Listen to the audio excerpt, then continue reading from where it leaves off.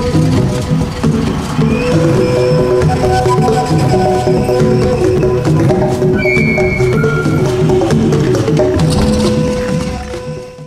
Здравствуйте! Программа «Балу» снова на ваших экранах. Появление домашнего питомца – большая ответственность. Просто выбросить животное, которое надоело на улицу, жестоко и бесчеловечно, но такие случаи, к сожалению, не редкость. И сегодня мы познакомимся с людьми, которые как могут спасают брошенных котиков, приводят в здоровое состояние и пристраивают в новые семьи. Большая часть животных, о которых пойдет речь, найдена на дачах в районе Гавердова. Есть и те, кого подобрали в Солочи или Рязани, но объединяет их всех одно. Их завели котятами, а потом бросили. До лета бы мало кто из них дожил, а, потому что забирали мы их в мороз, а, минус 20, то есть там замерзала в этих дачах а, вода даже. Вот. Э, и кошки просто набрасывались на еду, привезенную, то есть настолько они были голодные. Все это э, дело рук людей, которые привозят домашних э, кошек и котов, оставляют на дачу, потом они там плодятся, котятся, а, вот. И а люди спокойно уезжают дальше а, осенью в теплые, уютные квартиры.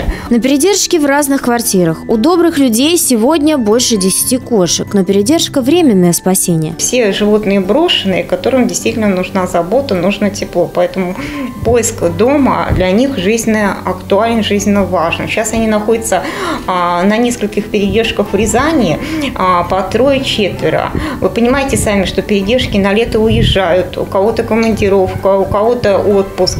Вот, и держать их э, бесконечно не могут. Мы сегодня представим вам кошечек и котиков, которые оказались ненужными в предыдущих семьях. Их оставили на улице на произвол судьбы. Привычно хорошо полностью и э, к и ведение привередливое. Она не будет там, как вот маленький котенок, лазить по обоям, не будет от нее много беспокойств, но зато будет э, э, уют в доме, то есть как бы такая вот э, очень уютная кисунка. Рыжика нашли в пустом дачном поселке зимой, голодного. Нашли напуганным, пока он побаивается людей, но с теми, к кому привык, спокойный, ласков. Как нам сказали, что привезли Рыжика а, в Гавертово москвичи, а, и оставили его там на зиму. То есть вот такие вот у него бывшие хозяева. Ласковая девочка Мариша млеет от проявления к ней внимания, спокойная, любит полежать, помурчать, играет, но не шумная. Стерилизована, возраст до года, в еде не привередлива. Я не, не знаю причину, по какой могли ее бросить вот так вот э, во дворе, да,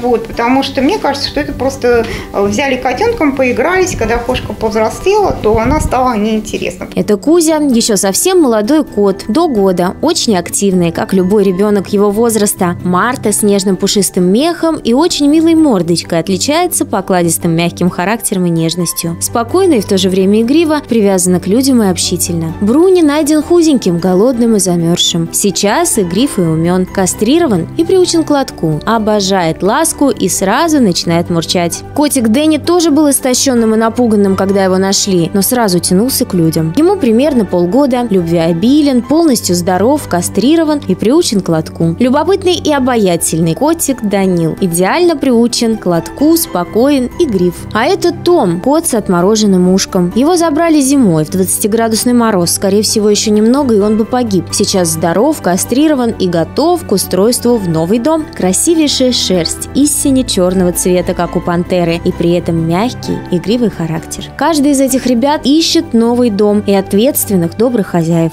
Позвонить, чтобы посмотреть и забрать понравившегося котика или задать вопросы, можно по номеру 8 910 612 44 44. Завести домашнее животное – это полдела. Ваша ответственность как владельца – содержание и ветеринарное обслуживание. Чтобы избежать опасных инфекций для вас и вашего питомца, необходима ежегодная вакцинация.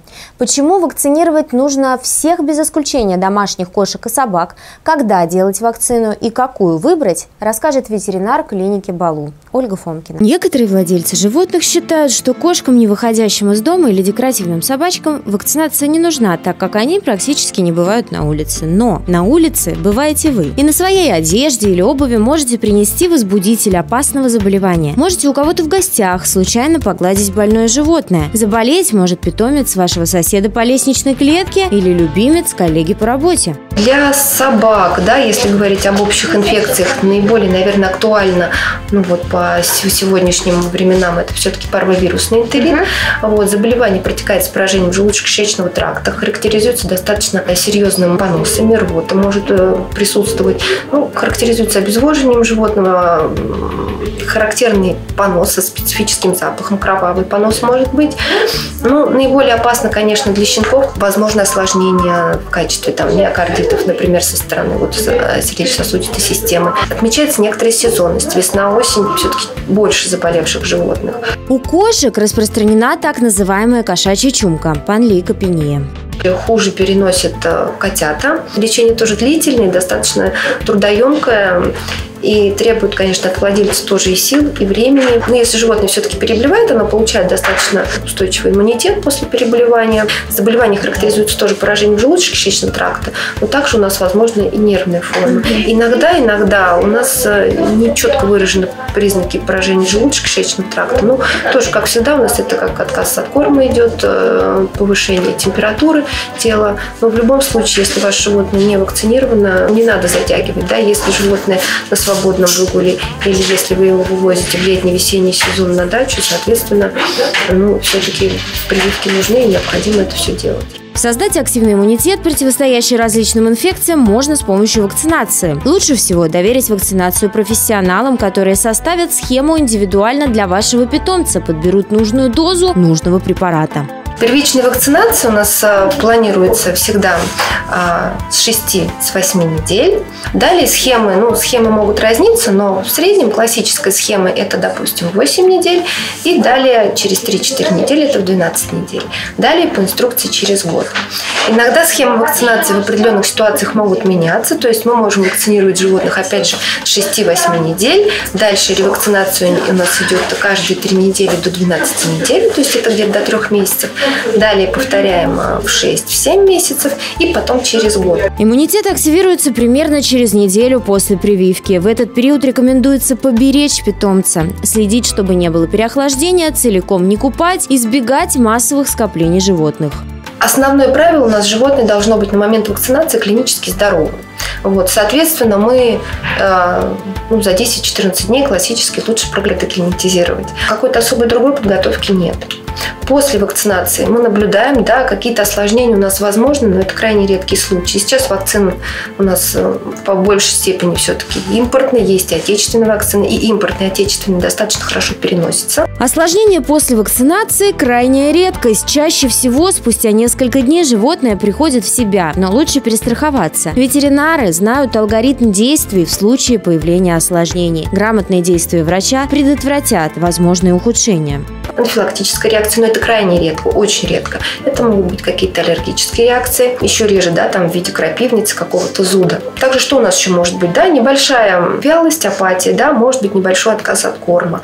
Вот, но, как правило, это все самопроходящее, допустимо. Может быть небольшой подъем температуры. Гипертермия, она допустима там в первые сутки. Диарея, понос рот – это крайне редко. Одно из самых опасных заболеваний – бешенство. Возбудителем бешенства выступает семейство рhabдовирусов, поражающее органы центральной нервной системы. В результате заражения у животного наблюдается повреждение нервных окончаний и постепенный отказ спинного и головного мозга. По клинической картине, да, ну, классически всегда мы считаем, что это агрессивное животное, э, слюнотечение. Не всегда это выражено, да, то есть бывают симптомы не выраженные, бывает у нас наблюдаются возбужденное состояние, может его не быть, может э, слюнотечение, да, присутствует, но бывает, что и не всегда. Вот. Наблюдаются у нас э, порезы, пролечи различных частей тела, в том числе и лодки, мышц шеи. Вот. Может быть отказ от корма, может быть и проявляться. А, Причем, как правило, клиническая картина, она может быть ну, достаточно смазанная, и вот, эм, вот эти вот стадии, фазы болезни, они могут ну, смешиваются, то есть не всегда это все распознается. Диагноз ставится посмертно. Больного пса или кота необходимо изолировать и не контактировать с ним до приезда ветеринара. Помните, вирус вирус одинаково опасен для всех теплокровных животных, включая человека. Бешенство у нас единственное заболевание у людей, которые не лечатся, которые заканчиваются стопроцентным летальным исходом. А в нашей полосе распространено, наша область неблагополучна по данному заболеванию. Заразиться можно через укусы, укусы больных животных, то есть это лисы в лесной, в сельской местности, и, соответственно, больные бешеные животные, также кошки, собаки. При отсутствии прививки и появлении хотя бы одного из перечисленных симптомов шансы на спасение близки к нулю. Из-за отсутствия лекарства единственным гуманным решением остается усыпление. Поэтому в случае с бешенством единственный шанс избежать трагедии – профилактика, то есть прививка всегда хочется сказать, что профилактика, она гораздо дешевле, чем лечение.